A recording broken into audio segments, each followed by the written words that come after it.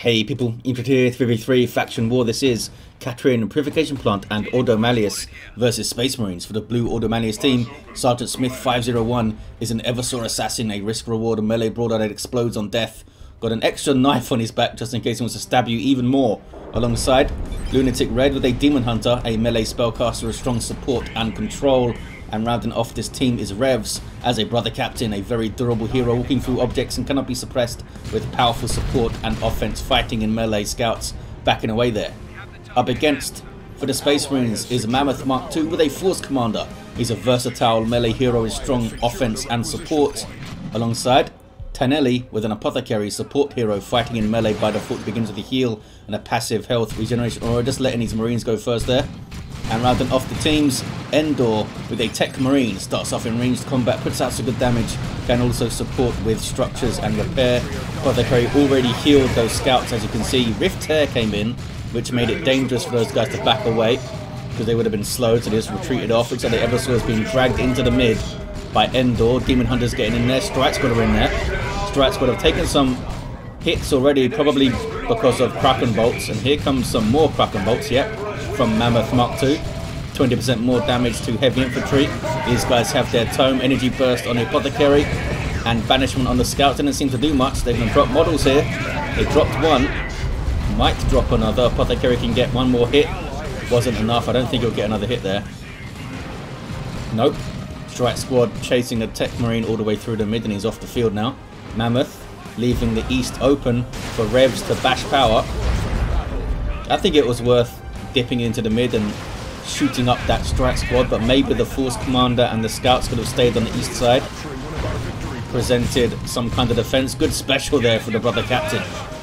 In amongst the Tactical Marines with his power melee weapon. Force Commander smacking around some Stormtroopers. Scouts just trying to stay alive, the poor bastards. They have, I think it's 7.5 DPS on their bolters. They're almost literally half the DPS of Tactical Marine Bolters in those very first engagements without their shotguns and without their sergeant. I mean, they can maneuver around, they can frustrate melee squads and stuff, but they really don't put out much damage. Strike squad are going to be okay. Tactical Marines keeping the brother captain busy. He's just turning the other ones now. Gets a special, needs to be careful backs away a bit and then retreats. It's going to be fine west side. Some dead stormtroopers, tactical marines be capping with their faster capping trait. Where's the Eversor? There he is, no war gear. Doesn't have any XP either. More stormtroopers up for Sergeant Smith, Lunatic Red. And Revs going into Purgation or, or Interceptors. Looks like it's Revs with the Interceptors. Or maybe Operatives, I guess. Assault Squad on the field for Mammoth. So who can support their jump squad better out of the brother captain and the force commander? I think overall the brother captain he can do so much. Weird hammer, mind blades, bulwark. He can use ward from the staff, battle rights. Force commander could do some really good stuff though with his sacred standard and power sword for the extra battle cry also for the emperor of course but I think the brother captain can do more because he's also got Canticle of Absolution and the Terminator Librarian that can come in with Might of Titan and Codicum Aeternum. There's so much support you can throw onto a melee squad as the Ordo Malleus Eversor Assassin pops the Psychon. Lots of swings on those Assault Marines. They haven't dropped a model yet, and they are tearing up this Strike Squad. I think they're going to kill him. They can jump after him if they need to. Didn't even need to. Down they go. Nicely done. Those were Lunatic Red Strike Squad. Under attack. Cover holding. Tech Marine might fall as the Bionics. So maybe we'll see the action on them in Tier 2, which is always fun to see. Force Commander can, of course, get his Thunderhammer up and just toss around those interceptors. Doesn't mean doesn't matter how many buffs they've got if they're on the floor. Interceptors all around, it is in fact. Jump troops with power melee weapons, but they're teleporting troops, I guess. The Space Marines jump in and knock you over. These guys teleport in. Kind of creepily stand there and shoot at you. If you're those fellas. Devastators on the field for Taneli. Into Assault Marines. And we've got Assault Marines for Endor too. Assault Marines all round, Interceptors all round. 468 to 471 very early on, 2 to 1 for the blue Ordo Malleus team. Some quick tier 2s. Sergeant Smith and Lunatic Red. Did you get Tomes of Titan? No Tomes of Titan. That was skipped by Sergeant Smith. Allows him to get that earlier tier 2, I suppose. Sniper Scouts for Endor having to retreat. Might, might find it tough with all these interceptors on the field, but can they punish the interceptors for coming into melee? Bionics already up, as you've seen, could get the axe. Thunderhammer is, of course, possibility for this fella. The Apothecary can hurt you with that Anointed Power Axe, and he's got the Purification Rites available, perhaps. Sergeant up on the scouts there with a shotgun. Maybe shotguns all around. No, Taneli doesn't have them. Meanwhile, west side, Demon Hunter chasing down those assault marines who are just terrorizing these stormtroopers right here. These tactical marines trying to get into melee. Here comes the Eversor. Rhino on the way. Staggered jump from the Assault Marines and more Assault Marines coming in. Demon Hunter might go down here and they jump again. I think Taneli's can jump again pretty soon. I don't know if they're going to be close enough though. Looks like not. Demon Hunter has got the Force Glaive, not something you see all that often because his Force Rod is so good with that Retribution. But we have 71.43 power melee and what is it called? Inferno. Just knocks stuff down around him and does some damage. There's a little delay when he uses it. It's a cool ability. And a power melee weapon is always nice. Same DPS as the Librarian's Force Staff on that thing. Interceptors with their Justicar now. Has that disruptive teleport when you have that filler up. Plasma Cannon on the way for Taneli. Mammoth and Endor go tier 2. Gonna need some AV for the Rhino. That was a powerful sweep. How much damage does it do? 45. Not bad if it hits every model, eh? Scouts should be okay here. I thought maybe they were purchasing a sergeant and waiting to try and chuck a grenade. But no, they're just backing off. Power bashing from Sergeant Smith. He's got some plasma stormtroopers, as you'd expect against heavily armored marines. Who's this down? It's the apothecary down in the mid. Was on the way to get the anointed power axe too. Speaking of power melee, there's that force glaive doing its thing. Force Guana thought about fighting him, but thinks again. Does have the Thunderhammer on the way though. That should be a bit of a game changer on the east side and towards the mid. Can really mess up infantry with that thing. Rhino, did he get a full power bash? I don't know, they might have already been repurchased. I think they did. Acolytes up for the Stormtroopers, gives them the fanaticism brief invulnerability thing. There's the overcharged plasma to suppress those guys. That was the fanaticism to avoid the damage of the plasma cannon, and the assault marines got messed up there. It's another shot, hits the rhino decently. There's that teleport though, that disruptive teleport, and they tore through those plasma cannon fellas. Devastators get a lesser version of the melee resistance, or they get a 20% melee resistance rather than 40. So they are quite vulnerable to jump squads, even if they did have full melee resistance, obviously they'd be pretty hard countered by them. This Rhino's doing some great work for the blue team, and there's another one from Revs. Going for the heavy bolter turret. This one doesn't have a weapon upgrade yet. Keeping it open to see if a dreadnought appears, I suppose. Going for the power bash again. Devastator is setting up in the face. Or in the hull of the Rhino. These guys have committed pretty hard, haven't they? Gonna take a lot of damage here. That's a plasma gun tech marine. And they did some good work against the assault marines under fire there. Really held their own. Taking sniper shots and everything. Did not see the axe for the tech marine then. Plasma gun is pretty hard to refuse. An amazing weapon against heavy infantry. That was an overcharged plasma. No, it wasn't. It was a psych out grenade from the Interceptors. Meanwhile, Demon Hunter's not so keen to fight the Force Commander now that he has a Thunderhammer. Not as much DPS as the Force Glaive, but you get amazing disruptive potential. 429 to 338. Sergeant Smith wants a quick tier 3 it seems from the chat there. 50 power off. Here comes a Nemesis Force Halberd. Brother Captain's now got Mantle of Terror for battle rights. Also, that 20% ability cooldown reduction is pretty amazing. This is an amazing piece of armor. And Bulwark is up. West side. Plasma flying in on those tacks. Couldn't quite get the decap. Bulwark up on the interceptors there. Last 12 uh, seconds, I believe. But look out, they're being disrupted. Crazy.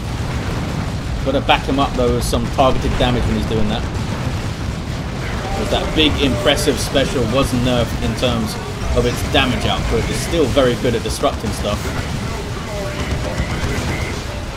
Uh oh I thought those assault marines were, were going to go down on retreat there. It's a big fight in the mid. There's the battle rights going off. That massive AoE heal over time that the brother captain can fire off. Caught the force commander there. And massive presence in the mid from the Malleus. The double rhinos doing great. And very aggressive with his interceptors. Another jump those guys are done for. Done for. Lunatic Red though is down to only two units. Psych out to mess with the tech marine. Can they get him? Can they teleport again? Don't think they can. Do they have enough range damage to take him down? Doesn't seem like it. We have improved the medical equipment for the apothecary. And the anointed power axe is in. Almost level 2. Mammoth Mark II goes for a plasma cannon east side meanwhile. Revs putting in some good work. Gonna bash this contested power that has been built up here.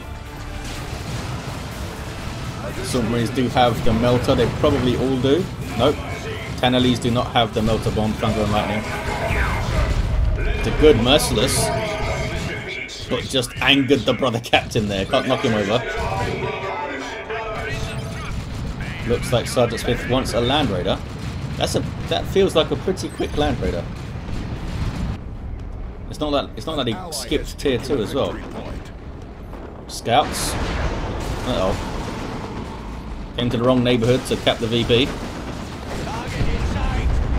Only dropped one model though. Stuck around to get their shotgun blast off. Fanaticism, a little bit early to avoid their plasma cannon damage, but didn't hit them anyway. Eversor's in there.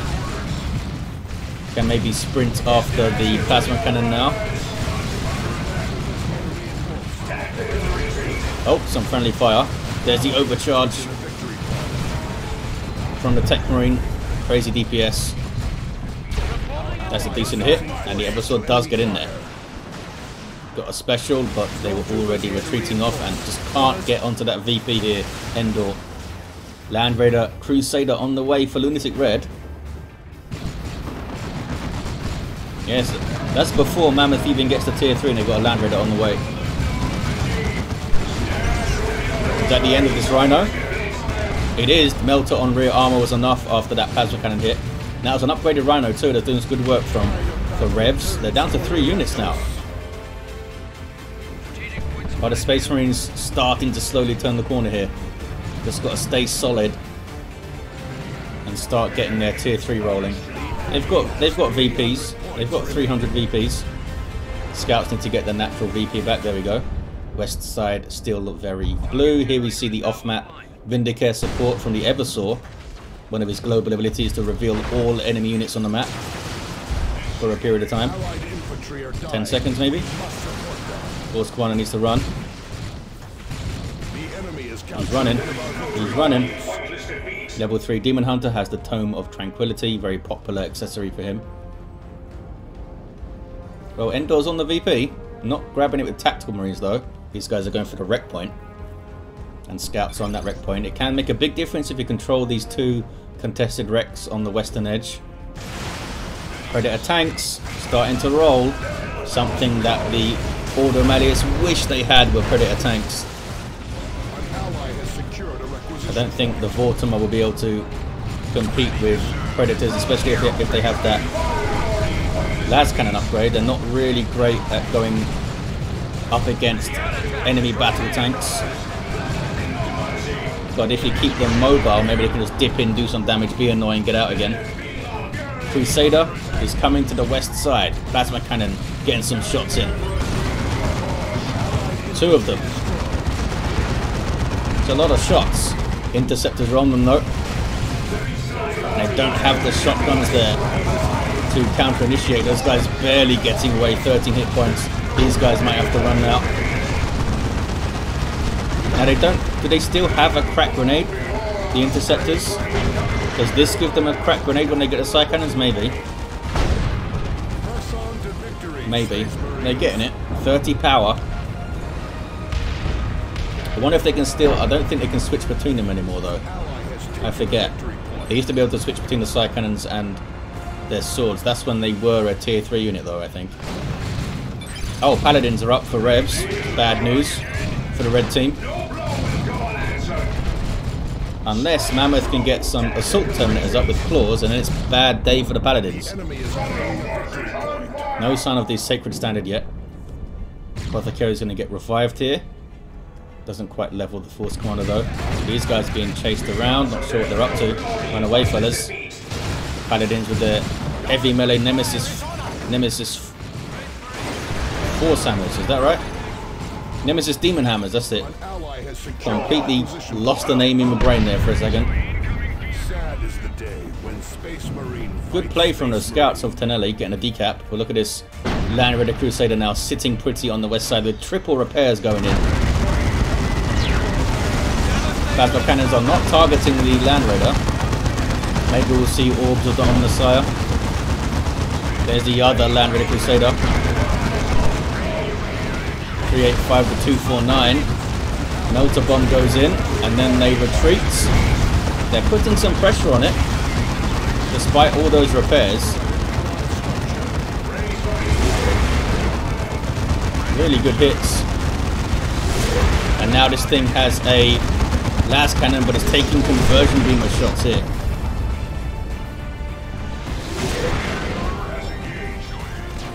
They're still not targeting the Land Raider specifically. He doesn't want them to move, I think that's why. East side.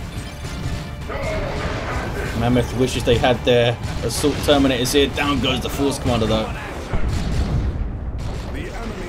Why do they melt my ASN? This makes no sense. Probably because all the crazy buffs this brother captain has. He's probably putting bulwark up. He's got We Are the Hammer. He's got the battle rights. He's got Mind Blaze to go in. Stone Guard runs away. Interceptor's teleporting in. And there's that off-map Vindicare support again. Good grenade. It's a really good grenading. Quick quick reactions from Revs. Here's a Predator tank from Taneli. Is this Terminators? Surely it is. Yep, the Assault Terminator's in. I imagine they're going to get their lightning claws as soon as he can for the Emperor on them now. Not sure what they're targeting here. There's an orbital. Doesn't seem to hit much from Lunatic Red, maybe? Not sure. Hit the Paladins a bit. Hit the Strike Squad a bit. There's a level 4 Strike Squad too. No sign of the Lightning Claws, you know. No sign of them yet. There's Bulwark on the Paladins. Lightning Claws are now on the way. Paladins have used their teleport, I think. Oh, wait. That guy didn't teleport. Did they? Oh, they got their energy back. Oh, they got given energy from Sergeant Smith. His Strat Squad, I suppose, did it? I don't think the... Um, yeah, they did a weird split, says Revs. I don't think the Eversor has Sanctify like the other fellas, or does he? I forget. Global's changed so much. Conversion Beamer. Might want to go a little bit further forward. They did get a tank though, look at that. Was it you with your exorcism thing? Nope. Arm, Armor of Damnation is in. Rearming. We are losing a requisition. 385 to 148. Getting a little bit low on VPs there, Space Marines. But they've got their Assault Terminators up. And the claws are in. Revs needs to watch out. They basically counter Rev's entire army now. They could probably take everything on. I think they do pretty well. There you saw the um, Inferno. More off-map Vindicare support. Oh, down goes the tank. Got too close to a conversion beamer.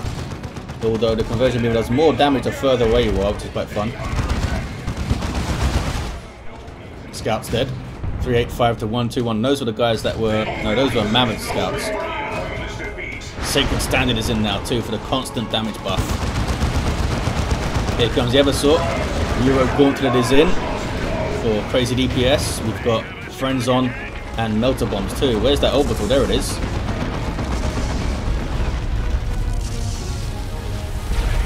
Really spread out.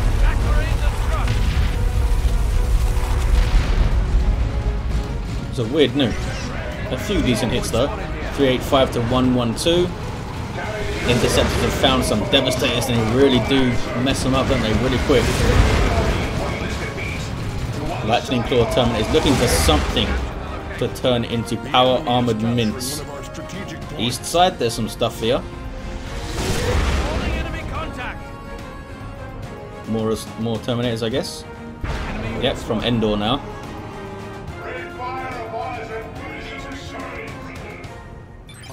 Cyclone missile launcher. Could really help mess up the Land Raiders. Holy Grounds slows down enemies, speeds up allies. They just use it to escape the lightning claws. You can see Revs just doesn't want to fight those guys. Only has a single plasma uh, Inquisitor squad. Getting shots in now though. There's bulwark on the strike squad, which is strange to see. Thought we'd be caught on the paladins. Down goes the force commander. They got him. A little bit sloppy there from Mammoth. He is giving the crazy damage buff from the Sacred Standard now, though. For the Emperor is up on these Assault Terminators. They're chasing the Interceptors, in turn being chased by the Paladins. Not turning to fight them. Now Assault Marine's coming in. He killed one of the Terminators there. Revs actually handled this fight quite well. But look what happens when you turn and try and fight those Assault Terminators with Lightning Claws. There's Mind Blades up on the Paladins, giving them massive melee buffs. That was well handled there. Force is back to his feet.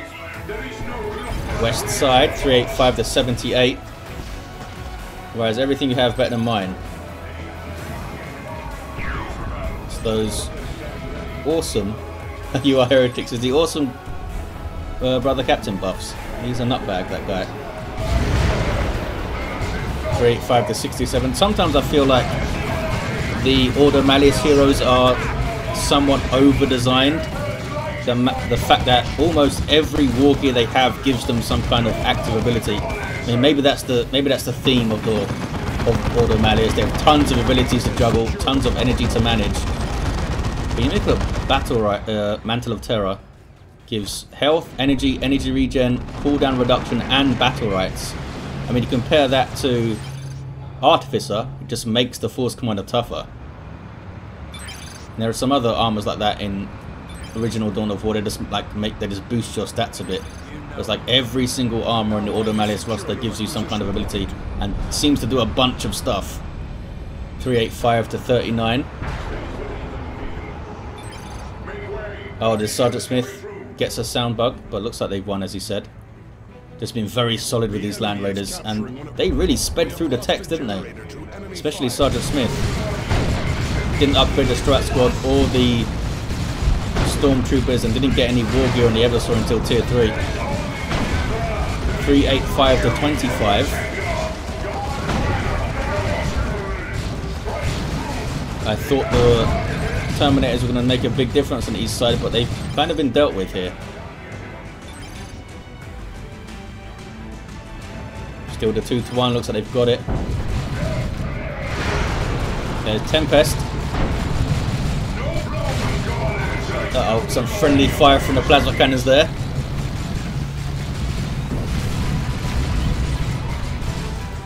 Yeah, Tempest seems a little bit weak now. When it was first in the game, it was insanely strong. It's been nerfed and changed a few times. It's like I can't tell what most of the phases even do. It slows you down, and at some point it does a little bit of damage, but it's like so little damage. I guess if it can affect like multiple armies, it's pretty damn good. Well, there you have it. Let's look at these heroes. Level 4 Eversor Assassin. Level 8 Demon Hunter. Level 6 Brother Captain. Level 5 Force Commander. I thought it'd be way scarier. Revs really handled it well on the east side. Level 3 Apothecary in the air. And a level 3 Tech Marine. Did you get Bionics? Nope. Uh, sorry. Did you get Signum? No, you still have Bionics. Well, they have it. Big thanks to these players for taking part. Big thanks to Impregnable for hosting the event. And thank you guys for watching. I'll see you next time.